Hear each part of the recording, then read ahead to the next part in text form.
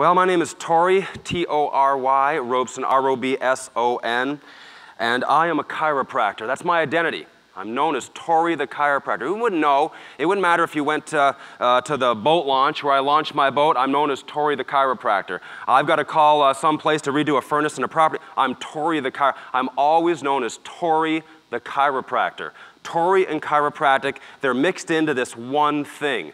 That's my identity. I also get known as the guy who helps uh, new chiropractors get started in practice, and uh, the guy that you call when your practice is flatline and you want to turn into an ultra succeeder. I get known as that guy. I get known as the guy from Minneapolis. I get known as the winner's edge guy. I get known as the guy that makes all of my people carry around one of these. I get known as the guy with the cool chiropractic training center, but I also get known as the guy with the Dobermans. Now, when I look at a picture like this, I can think a lot of things. I can think about young chiropractors needing training and discipline to, to grow up smart and, and capable.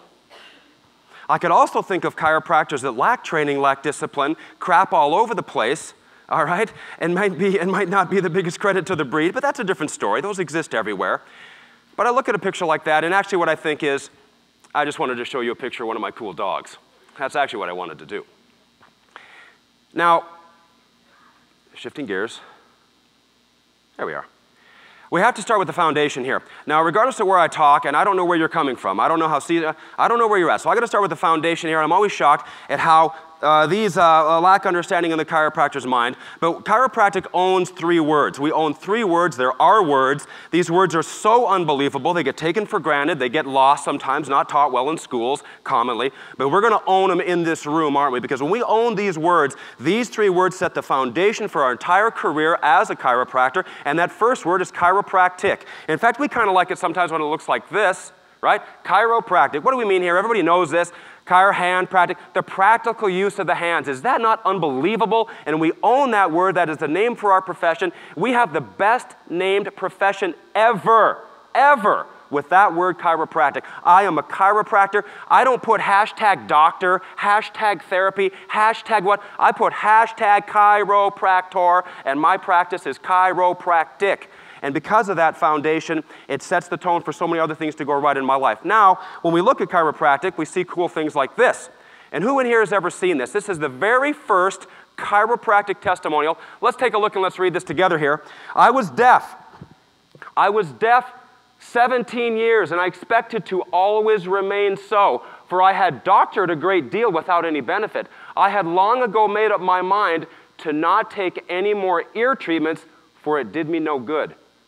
Last January, Dr. Palmer told me that my deafness came from an injury in my spine. This was new to me, but it is a fact that my back was injured at the time I went deaf. Dr. Palmer treated me on the spine in two treatments. I could hear quite well. That was eight months ago. My hearing remains good. Harvey Lillard. Is that not unbelievable? Now, the reason I brought that up, yeah, that is something, isn't it? That, it's some story. It's some story. Now, people look at it like, oh, that's like Jack and the Beanstalk. No, no, that's Harvey Lillard. That was a man who was struggling, and he was helped by a, mind, a guy named D.D. Palmer. Now, what's interesting about this, and the reason I want to put this up there, is this guy right here. Okay, what do we know Reverend Samuel Weed for, and he's not Cheech and Chong's long lost cousin? Okay, who is he, what is he known for?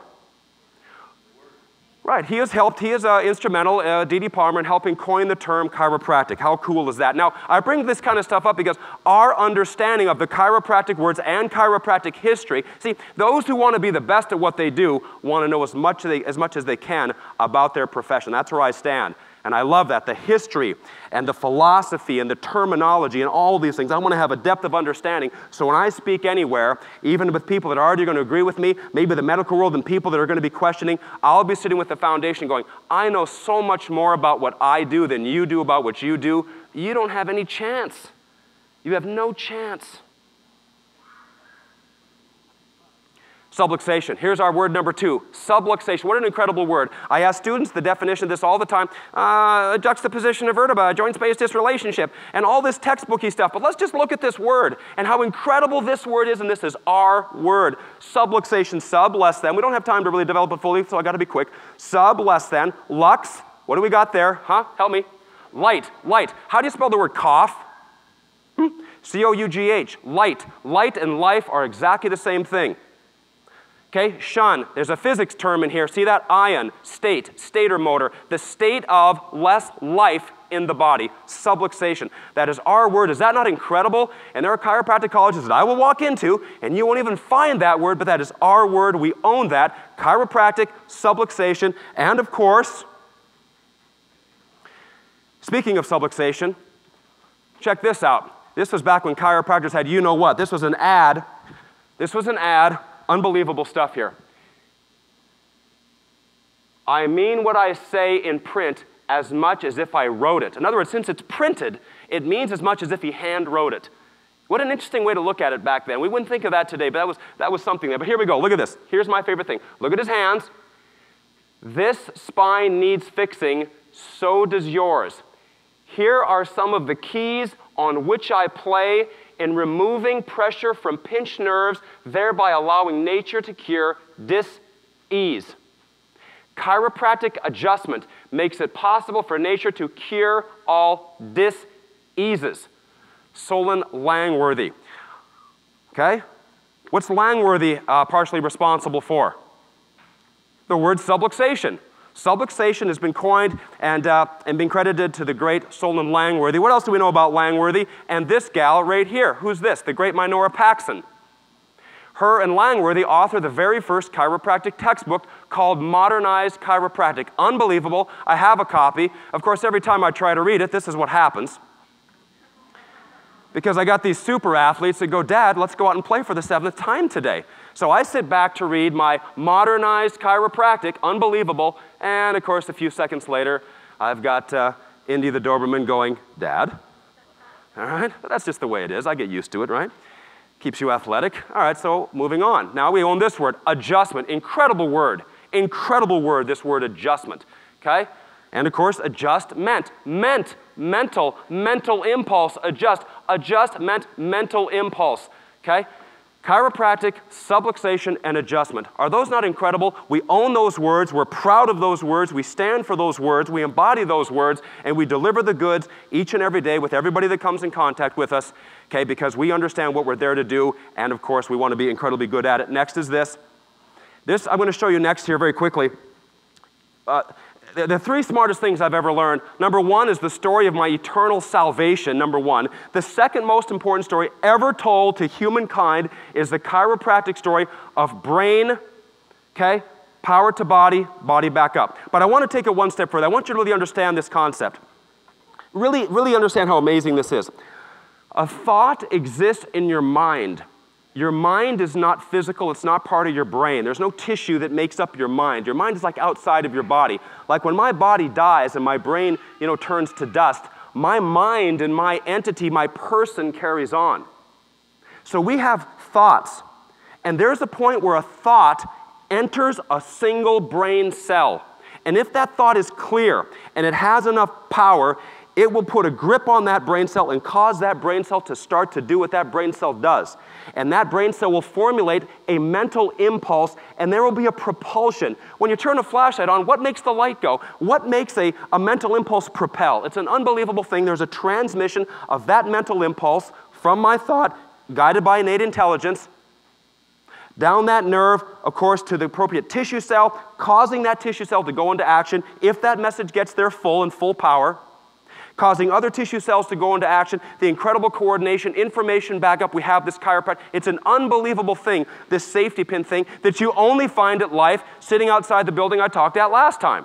It's an unbelievable thing. We take it for granted, but it, when you really think about what's happening, it is mind blowing. That story right there is the second most important story ever told to humankind, and we own it. We own it and we own it flat out. Now, the next story would be this, and it ties in with this, but this is how everything happens in your life. This is how you create everything. Your life and everything in it right now has been caused by the diagram I'm going to show you next. This should be familiar to a lot of you, but maybe it isn't. So let's take a look at it like this.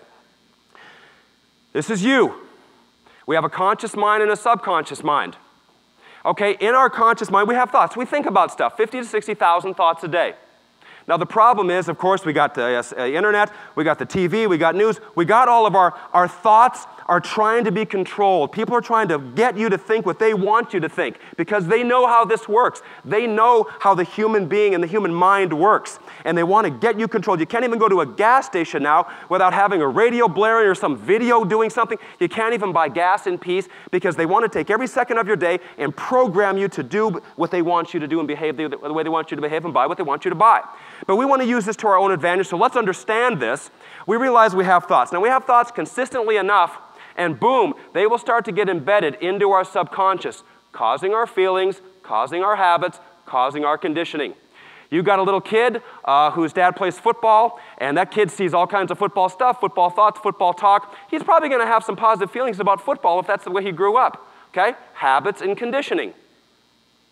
And those carry on all the way to the point where they actually guide the actions of the person, bringing your results, your conditions, your circumstances, and ultimately your environment and the four key areas of life.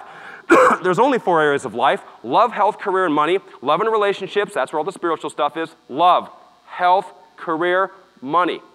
That's everything in your life. And by the way, when we make goals, like I was showing you here, in fact, on the back, that's love, health, career, and money. So make sure we got everything complete. Your love and relationships, your health and your fitness, your career and practice, your personal financial situation. You can break your goals down into those four categories, and just by doing that and getting that clear in your mind, your life will skyrocket into change. Now we have, of course, the six intellectual faculties of the mind memory, will, perception, imagination, uh, reason, and intuition. Don't have time to talk about those today, but I want you to understand this. Your thoughts, ultimately, consistently enough, control your actions, what are controlling every single thing in your life. And so every single thing in your life is coming from your thoughts. So we have to be very careful. We have to plant the correct thoughts in our mind. So notice the parallel here. If we have thoughts that go into brain cells, and that, is, that information's got to go down, which can be jacked up by subluxation, the messages back up can also be jacked up by subluxation. So, of course, the chiropractic need is 100% and 100% of the human beings on earth but also, when it comes to achievement, very similar process. Thoughts go in. Those thoughts, of course, engage the brain cells. The brain cells go into action and they cause everything happening in your life. The volume that you see, your financial situation, who you attract to have around you, your overall level of health and fitness, what you ch- you've chosen every single bite of food you ever put in your mouth. And that ultimately came from here, came from your thoughts. So when I learned this, and I learned this from the great Bob Proctor uh, many years ago, I was at a seminar, came out, bought some audio set called The Success Puzzle. I went, whoa, this completely changed my life. Along then, I heard it from Earl Nightingale, then Claude Bristol, these other great teachers in the past, all telling the same story the master key, the science of getting rich. And I thought, whoa. And once I learned this, I thought, you mean me, the kid who grew up in Montana, the divorced family, no affluence around me, very, very average, um, you know, uh, uh didn't really think I had a chance to really do anything uh, that spectacular because I didn't see any of that around me growing up. Once I knew that, hey, you mean if I just start shoving what I want into here, it will start to uh, automatically change my life? And the answer was yes. And the same is true for you. We lock those goals in. You carry them on your person. You hang around successful people. You have the proper affirmations. You have the proper coaching and training. You read the right books, watch the audio. I've got 7,000 minutes of audio material. I've got 10,000 minutes of video. Just finished the fourth book. Fifth one will be done by the end of this year. It'll be the CA, the team book. You put that stuff into your mind. There's no way you can't become a chiropractic ultra succeeder and just a man or a woman of power and influence and, and change and all these things that you really want to have. This is what I'm encouraging here. This is what I'm encouraging. All right, how are we doing for time? Oh, how much time do we have, Alicia? Gobs of time. Huh? No, he's going to give me a couple extra here. We might just go all afternoon because I want to see you go back and never be the same again. You cannot go back the same person. You can't go back. You can't go back the same. You got to go back and go. This is the beginning of the rest of my life, and I, I got. I can do more and have more. One quick thing here, then I'm going to move on to the next thing here I am, and I'm here also because, of course, we got this life vision, which is incredible. And I'm also, uh, uh, uh you know, known as the guy that works on all these fighter people. I'm here for UFC 236, and. Um, and uh, uh, quite a few years ago, you know, people talk about the vision board. I said, I don't feel like making a board. I'll just pull up a Word document and I'll just go cut a bunch of pictures off and I'll stick them right in here. So I put a thing that, uh, you know, the Roman Colosseum, and of course everybody puts a beach on there, especially when you live in Minneapolis. And of course I'm to put a couple good looking girls on there, and I'm to put whatever on there, and I put a UFC logo because I wanted to go to one of those sporting events. I put a picture of Arnold on there because I like to meet my hero from when I was a kid, right? All right. And they put these pictures on there, and sure enough, you meet Arnold at the cool thing in Columbus, Ohio, like a lot of us have, right? And then you end up going to the beach, and you end up uh, walking through the Roman Coliseum. And the next thing you know, I'm at a sporting event for the UFC. Now I've worked on uh, three or four UFC champions, and hopefully another one on uh, Saturday night. The point is, again, I shoved the thoughts into my head. Hey, I want to be involved in this, and my whole point with that is I should have thought bigger. Instead of just going to the event, I should have said, hey, I want to work on a champion. I had a student on the line the other day, and he said, uh, Well, I want to have my practice, and I also want to work on uh, horses. And I go, That's really cool, as long as you focus on your practice, you build a big practice, then as an accessory, then you can have the opportunity to go do this stuff with the horses. Don't focus on the horses, you'll, you'll go broke, it's not possible, your student loans are too big, it doesn't make any sense mathematically. Let's build up a big practice, and let's have you become known separately as the person that works on the horses. I said, Why don't you set a goal? Let's write it down right now, let's put it in your phone, for you to work on someone who races, a horse that races in the Kentucky Derby. Then I thought, wouldn't it be amazing to work on a horse that won the Kentucky Derby? Why not? Why not? It's just, it's no more difficult for the universe to bring you that than just to bring you a person who wants you to work on their horse. Why not? Let's think big. Let's think big. Let's think bigger than we're currently thinking. Okay, that's my whole point here with this. All right. You know, it was maybe a thousand or twelve hundred years ago, in what would be known as South India. And there was a gentleman who worked very, very hard. He was also very fortunate. And he was able to acquire some land, build a nice house, acquire some more land, beautiful wife, family, and started to acquire significant amount of wealth to the point where he was like the wealthiest person, the wealthiest family, the wealthiest man in that whole part of planet Earth. His name was Ali Hafid. Now, Ali Hafid had a little function over there. at his beautiful home, quite a few people there. And there happened to be a gentleman who, in this case, happened to be a rabbi that was speaking with Mr. Hafid and said, Well, I would guess that with all your tremendous holdings, you, you probably own quite a bit of silver, yes? And Hafid says, Well, of course, I have uh, significant amounts of silver. Well, if you have silver, then I would have to assume that you also have gold. And Hafid says, Well, yes, I have, a, I have significant gold holdings as well. Well, if you have silver and gold, a wealthy man like yourself, you must also have diamonds. And Hafid goes, Diamonds?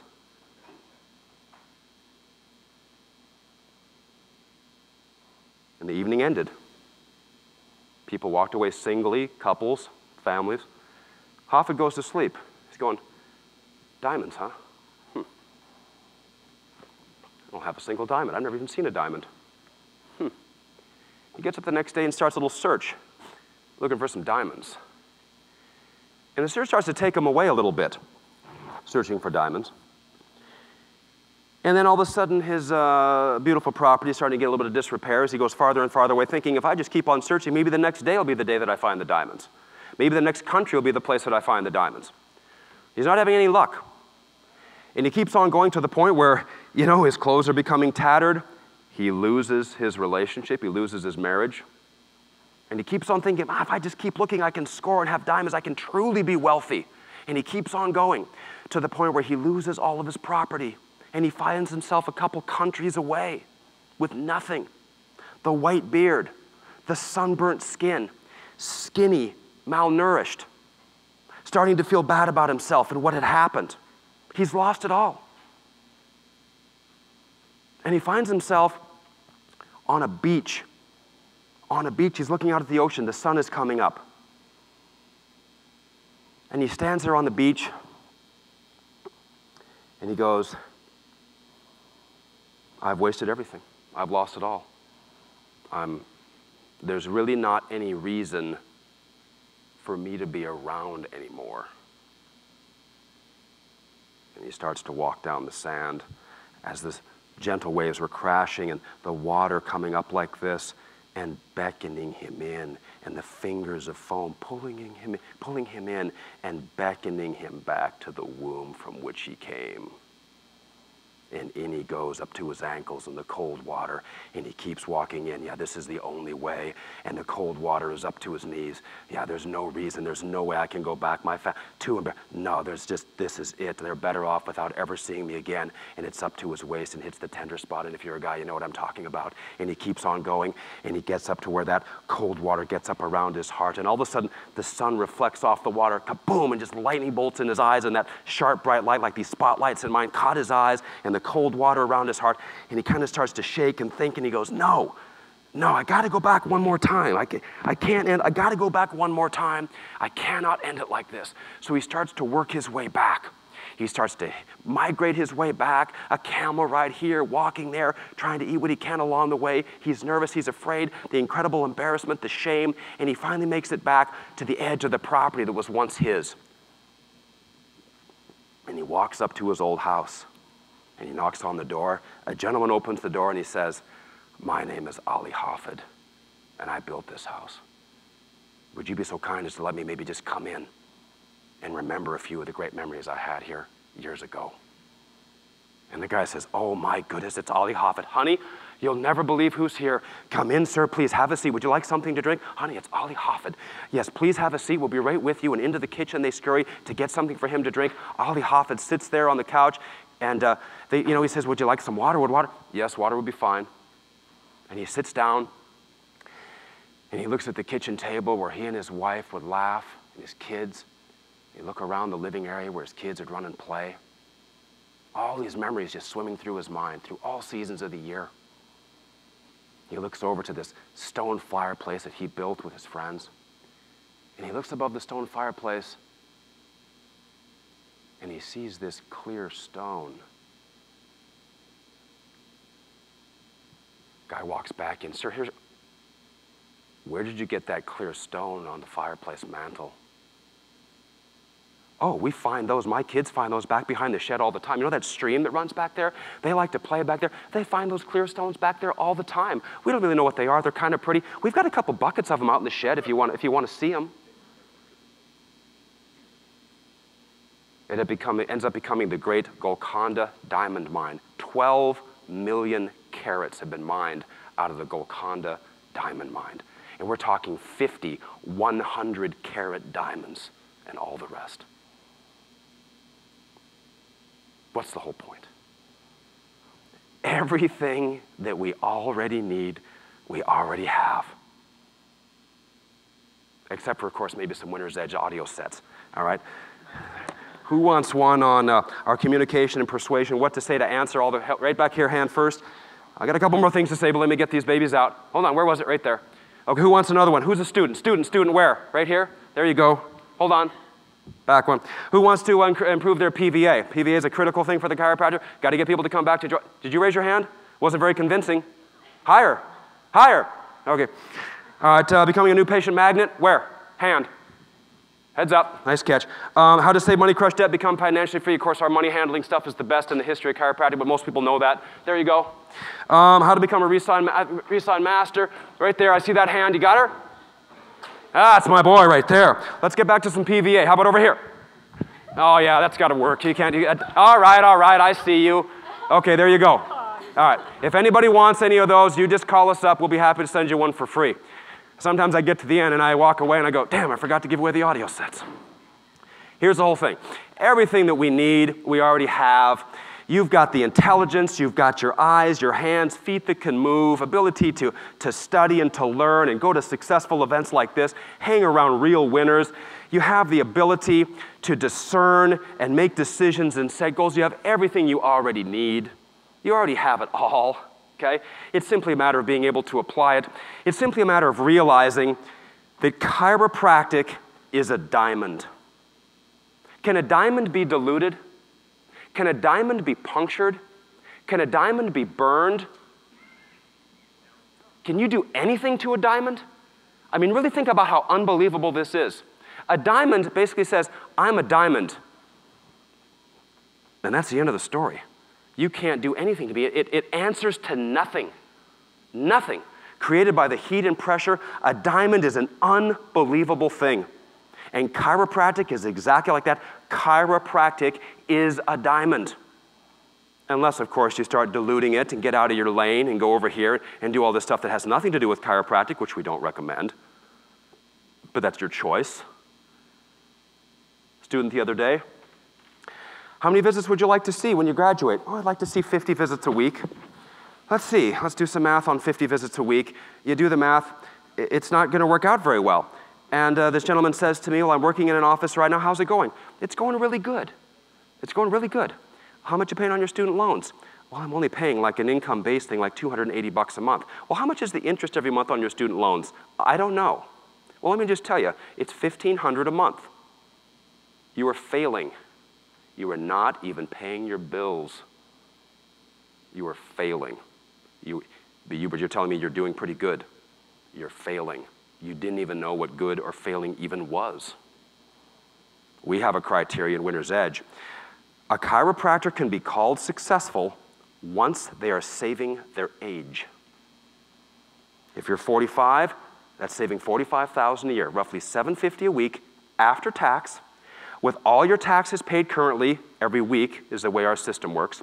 You're saving money, of course, automatically, your age. Your debt elimination plan is in beautiful order, and of course, payroll and team and all these things, and you're automatically giving money away. We recommend that every month. So once you're automatically giving money away, and your taxes are all in order, and the debt elimination strategy is in place perfectly, and you see the future, and you're saving your age, we consider then that chiropractor is successful. Not because you saw some volume or you got your practice open or you've got a, a Facebook ad or you run around, you know, and you think that you're, you know, no, success is I'm able to do something that people like enough that they want to come in and see me, send other people to come in and see me, to the point where I have enough people coming to see me that through fair fees and very reasonable payment arrangements, I'm able to generate enough income that I can keep my taxes current, I can give some money away. I've got my debt elimination strat- strategy in order, and I'm doing well enough, I'm able to save my age.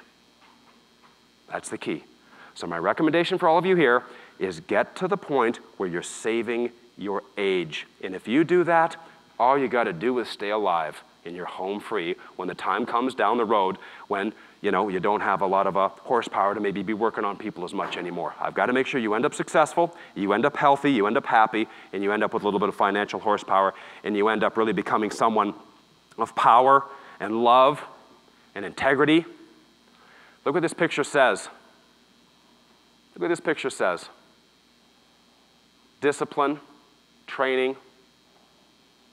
But I will promise you, if you look at them the wrong way, or you look at mom or dad the wrong way, it's not going to be pretty. They'll cry when you cry, they'll be sad when you're sad. When you're happy and excited, I'm telling you, they will be happy, excited like you've never seen. They'll curl up next to you in bed. The dog will never leave your side. But if you're scared or somebody threatens you, it's going to be a vicious wall of muscle and teeth. And that's exactly how I feel about my chiropractic. I encourage you to do the same. Chiropractic is it. We own chiropractic. We own subluxation. We own adjustment. We stand for it. We believe in it. We deliver it well, okay? And we defend it well with what we simply call the Doberman philosophy which, I'm, which is what I'm encouraging you to adopt as we leave here this weekend and head into the rest of this year and the rest of your career. I'm so glad that I had a chance to be here with you. I wish I had more hours to spend. We have so much to do, but hopefully maybe we can have a chance to meet, visit again. Any questions, call me. I am committed to your success as a chiropractor and as a man and as a woman. Thank you so much.